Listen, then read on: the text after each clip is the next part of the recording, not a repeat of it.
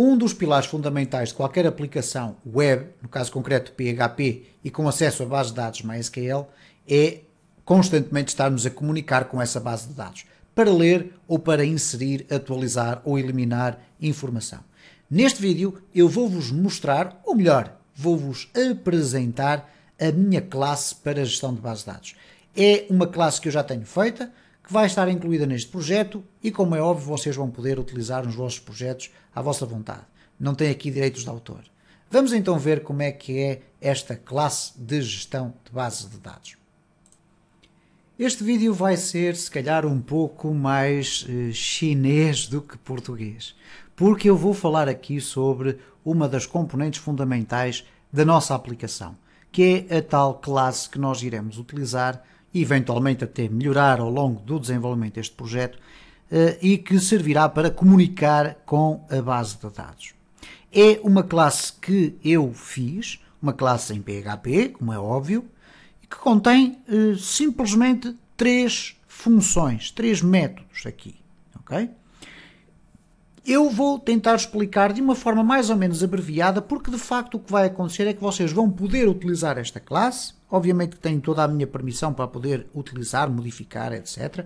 É apenas código, não há aqui eh, nenhuma propriedade intelectual nisto. Uh, e eu vou-vos explicar um, em traços muito gerais como é que ela funciona. Nós vamos ter que fazer aqui algumas alterações para adaptá-la ao nosso projeto, mas vocês vão ver que é muito simples e vou explicar o que é que cada um dos três métodos faz. E depois, ao longo do resto do curso, nós iremos ficar cada vez mais familiarizados com a forma como ela funciona. E acreditem que é extremamente simples de utilizar. Então, uh, o que é fundamental aqui perceber é o seguinte. Por norma, quando nós criamos uma aplicação de PHP com acesso, obviamente, a bases de dados, uma das principais opções, ou a mais utilizada, é aceder a uma base de dados MySQL. Vocês poderão também encontrar muitas vezes eh, uma certa confusão de MySQL e MariaDB. Bom, um, o MariaDB é um sistema que foi criado pelo mesmo autor do MySQL a partir do momento em que o sistema MySQL foi adquirido pela, pela Oracle. Eh, eh, segundo consta a história, eh, o autor do sistema MySQL, do sistema de gestão de bases de dados, criou o MySQL original.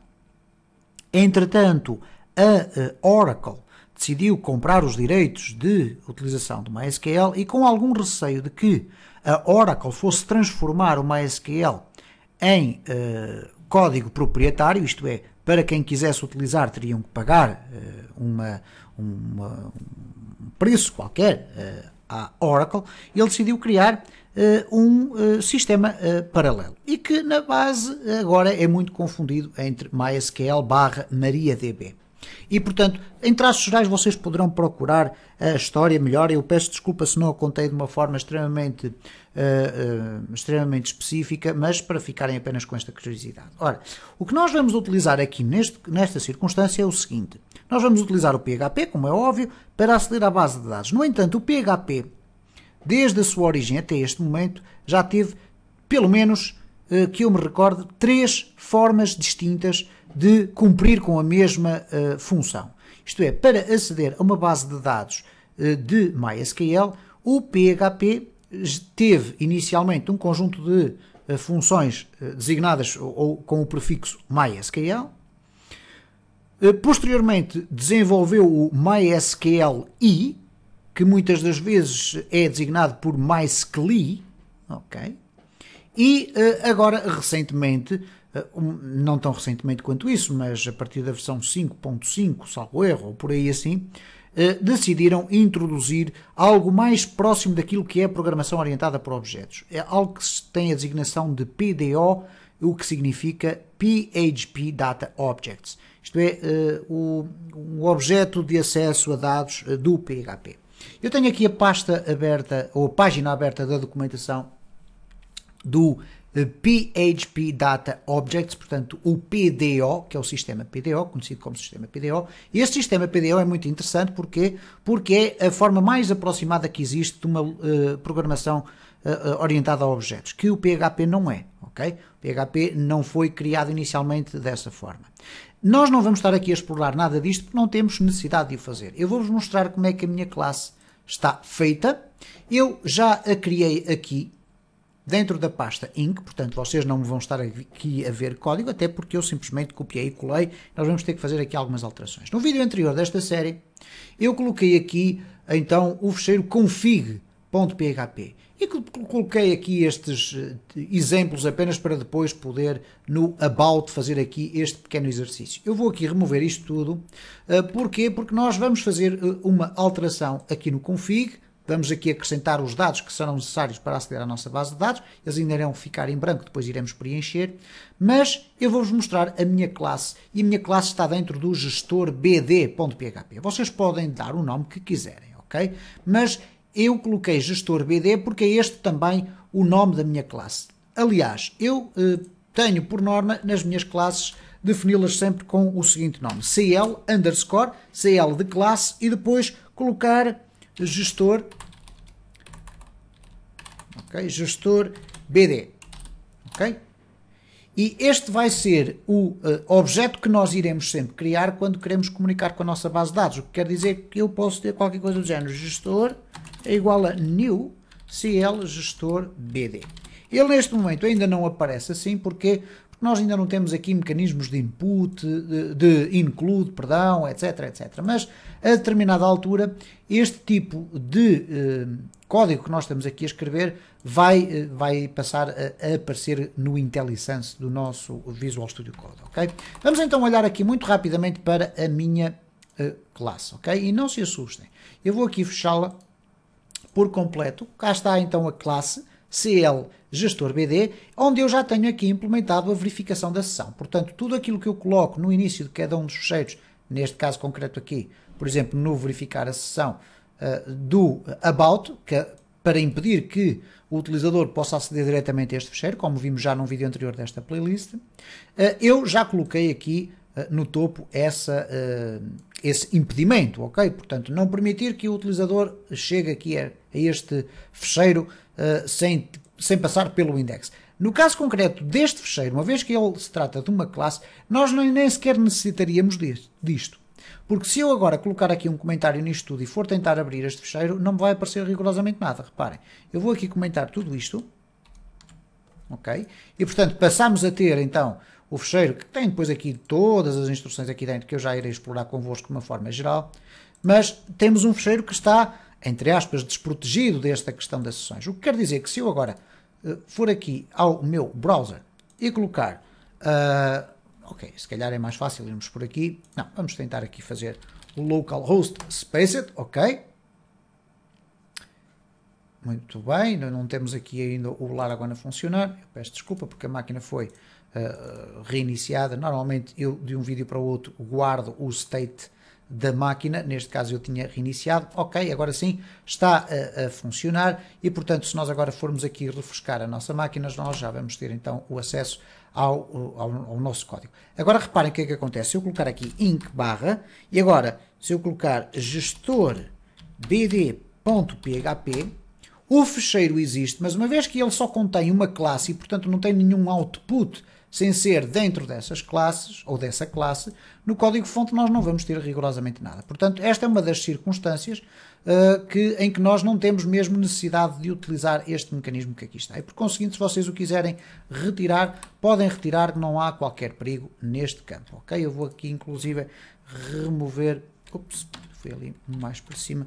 Vamos aqui remover, então, Uh, este, uh, este, esta funcionalidade porque ela não está lá a fazer nada. Ora, o que é que a minha classe tem? Eu referi aqui que ela tem três métodos. Um método, eh, ou funções, como lhe queiram chamar. Eu aqui gosto de chamar métodos porque estamos dentro de uma classe. Tem um método para executar uma query. Tem um método para executar uma non-query. Ok? Chinês, atenção. E tem aqui um método muito interessante que permite fazer um reset ao sistema de auto-incremento. Ok? Ora bom, Dito o chinês todo por completo, o que eu vos posso dizer é o seguinte: eu vou escrever aqui texto livre, ok? Vou até colocar dentro de um comentário porque assim já não vai aparecer erros, ok? Então o que acontece aqui é o seguinte: num sistema de gestão eh, de uma aplicação com base de dados, nós temos vulgarmente aquilo que se designa por um mecanismo de CRUD. Ora, o que é que significa o CRUD? CRUD, que nós vamos colocar agora assim, é o início de cada uma destas palavras. Create, Read, Update e Delete. Ok? Por isso se chama CRUD. Ora, o que é que o CRUD significa na prática? São as quatro operações que nós habitualmente fazemos uh, relativamente a uma base de dados. Isto é, nós criamos uh, registros. Aqui o create transformado na linguagem SQL será mais ou menos o insert. Okay? Nós depois vamos ver isto aqui com uh, muita calma. O read será o select. O update é mesmo o update. E o delete é mesmo o delete. Ok?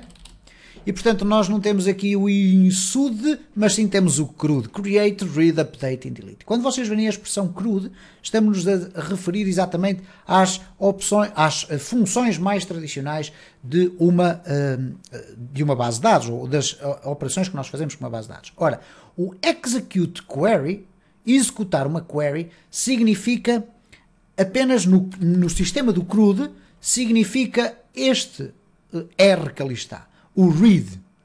Ok? Portanto, nós utilizamos, vamos utilizar, aliás, é este método que aqui está, quando nós queremos ler informações da base de dados. Por seu turno, este que aqui está é o que diz respeito ao C, ao U e ao D. Isto é, este non-query, isto é, é um método que não obtém dados, vai apenas inserir ou vai operar sobre a base de dados. Este, esta função serve simultaneamente para inserir, editar ou atualizar e eliminar registros. Serve também para nós podermos criar tabelas, apagar tabelas na nossa base de dados, etc. Portanto, esta para ler, esta para escrever. Esta aqui é um caso especial que nós podemos utilizar e que tem a ver com uma funcionalidade das bases de dados, que é a possibilidade de nós termos uma coluna onde temos normalmente uma chave primária, eu estou a falar chinês novamente eh, para muitos de vós, mas nós depois iremos desmontar tudo isto, onde nós podemos a determinada altura eh, fazer um reset a um mecanismo que é uma atribuição automática do número seguinte, ok? Isto é, dentro de uma tabela onde nós temos uma chave primária com valores únicos, a determinada altura nós podemos ter a necessidade de fazer, de resetar eh, esse auto-incremento, isto é, a atribuição automática por parte do sistema de o número seguinte eh, na, na, na sequência de números, e, e, nós podemos utilizar aqui este método. Bom, se nós formos olhar aqui muito rapidamente, isto é apenas de uma forma superficial, depois eu irei explicar aqui melhor, o que nós vamos encontrar, por exemplo, nesta função, ou neste método que aqui está, da execução da query, eh, são, na prática, duas coisas uh, que se complementam. Eu posso utilizar este, uh, esta função de duas formas. Ela vai servir sempre para ler, mas eu posso utilizá-la com uma simples query, ok? Com uma simples query. Isto é, utilizar, ok, coloco uma query, olha, vai buscar a base de dados isto, ponto. Mas uh, uh, opcionalmente eu posso definir aquilo que são os parâmetros da minha query. E os parâmetros é algo que é extremamente importante principalmente por questões de segurança para impedir aquilo que é vulgarmente designado por SQL Injection. E nós iremos falar sobre isto. Tenham, não se, não se uh, assustem com tudo aquilo que eu estou a dizer e eu não vou partir do princípio que vocês já sabem isto tudo. Não. Quando nós estivermos a utilizar estes mecanismos, nós iremos falar sobre eles. Okay? Uh, obviamente eu não vou estar aqui a explicar o que é, que é o, o ATTR persistent, etc. Não, não, não interessa estarmos a explorar isso. O que interessa é dizer que nós vamos poder chamar a execução deste método, ele vai estabelecer a ligação com os dados que nós vamos colocar aqui, que serão os dados do config, ok? E para isso nós já vamos fazer a alteração mesmo no final deste vídeo, vai ser muito rápido. E aqui vamos ter a ligação a, a, ser feita, vamos depois executar aqui a query, etc. Se ela tiver parâmetros, executa de uma determinada forma, caso contrário, ela executa de outra o sistema e depois fecha a ligação, obviamente. Portanto, faz a abertura, leitura e fecho da ligação. E depois devolve os resultados que forem obtidos da nossa query. No caso concreto aqui desta non-query, ela não vai devolver rigorosamente nada. E cá está, eu deixo sempre os meus comentários. Este é tipicamente para usar com a instrução select do SQL e aqui para utilizar maioritariamente com o insert, o update e o delete. Uh, e neste caso estabelece a ligação, faz aqui a execução com um begin transaction, tem também um rollback, isto é, se acontecer alguma circunstância inesperada, uh, as alterações à base de dados não são feitas, ok? Há aqui um retrocesso, mas ela faz isto tudo de forma automática. Se tiver parâmetros, executa de uma forma, se não tiver parâmetros, não executa de outra forma. Neste caso, fecha a ligação e não devolve nada porque esta função serve apenas para inserir, atualizar e apagar. Não vai buscar informação como esta anterior. E finalmente esta daqui é uh, muito simplesmente o seguinte, estabelece a ligação, faz um reset ao tal sistema de autoincremento, que nós depois iremos ver aqui como funciona, e depois fecha a ligação. É tão simples como isso, ok? Uh, uh, eu peço desculpa pelo chinês todo que eu aqui falei, vamos apenas terminar este vídeo fazendo o seguinte, vamos definir estes valores corretamente aqui no config. Eu vou parar o vídeo e vou regressar quando esta alteração estiver feita, porque vocês também não vão ter que a fazer, porque podem descarregar o código a partir do GitHub. Ok, e demorou-me apenas dois minutos, se tanto, a fazer então esta alteração, e foi para vocês não estarem aqui a acompanhar tudo isto. O que eu fiz então foi colocar o seguinte. Aqui eu tenho então o meu return, as minhas configurações, que nós obviamente como desenvolvedores depois teremos que eh, no momento de colocarmos isto no servidor, teremos que ir aqui definir dentro destes espaços quais são os valores corretos e depois nós iremos ver já nos próximos vídeos, no caso concreto aqui do desenvolvimento local, o que é que nós vamos ter que colocar em cada um destes espaços, mas teremos então um BD host, que normalmente será localhost Aqui já vai poder ficar assim. Depois vamos ter o nome da nossa base de dados. O char7 eu aqui coloquei no local errado. Vamos aqui compor. O char7 é um mecanismo que eu coloquei aqui, que normalmente coloco, embora pudesse colocá-lo de forma literal. Portanto, é um mecanismo que nos vai permitir definir como é que os nossos caracteres são codificados dentro da base de dados. Não nos interessa se quer saber como é que isso funciona, está aqui definido. E depois o BD username e a password é os, as credenciais do utilizador que tem permissões para aceder à base de dados. Portanto, estas são as uh, uh, variáveis da BD. Ok? Uh, nós depois podemos aqui, obviamente, acrescentar também as variáveis que nós vamos ter necessidade de utilizar do e-mail e depois iremos aqui defini-las a seu tempo. No, no, na minha classe, o que é que eu fiz? Em cada uma das funções, neste caso no Execute Query, eu coloquei então a importação uh, do uh, array que aqui está para o interior aqui de config e depois fui colocar aqui o config no BD host, char7, etc, etc, etc, username, password. Fiz exatamente o mesmo também para os restantes dois métodos, ok? E, portanto, neste momento, a menos que aconteça aqui alguma circunstância que me tenha ultrapassado, e se acontecer eu peço desculpa, mas nós iremos corrigi-la na sua devida altura, nós temos o nosso sistema preparado para comunicar com base de dados. No entanto, nós não temos ainda sequer uma base de dados criada e muito menos temos uma estrutura para podermos começar, por exemplo, a desenvolver o sistema de gestão de acessos. É isso que nós vamos começar a fazer no próximo vídeo.